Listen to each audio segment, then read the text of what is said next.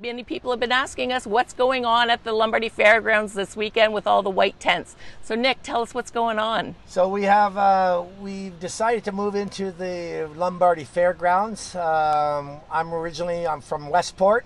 Uh, we have a house there, and my wife and I, Chantel, have a. Uh, uh we are executives of the Kars Dog Club and Ontario Breeders dog club. So we, and then on in the main fairground where the open area is, is where we have all of our tents, and they're all separated, and the vehicles are separated, so the people have to have their social area. So when we go inside the gate, we have to wear our mask.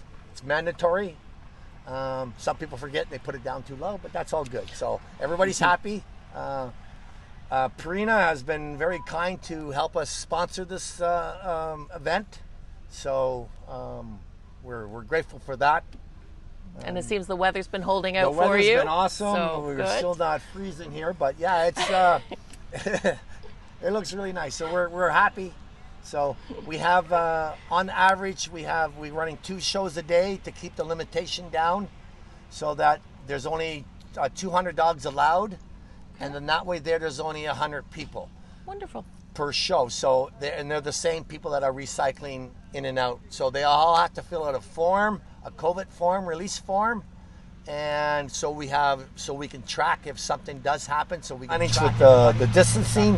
But uh, yeah, so yeah, this is. This is us. Yeah, welcome to Lombardy. welcome to Lombardy. We, we, we, are not allowing public this year, and it's sad that we can't do it. But next year, when we're we hopefully we're going to return, uh, we would love, we would love the public to come and look at the dogs because, yeah, it's pretty cool. Hi again, it's Jackie. I'm here with one of the exhibitors here at the dog show. Check okay. it out. This is Theo. He's a Bedlington Terrier. They originated from Bedlington, England. They are a ratter. They're meant to go to ground. Supposed to be narrow in the front, wide in the rear for speed, narrow in the front to go in the holes to dig out the rats. Wow. So this is just one of the many dog breeds that you get to see here. Hopefully next year we'll be able to open up and everyone can take a peek and get to see what I'm getting to see today. Cheers all.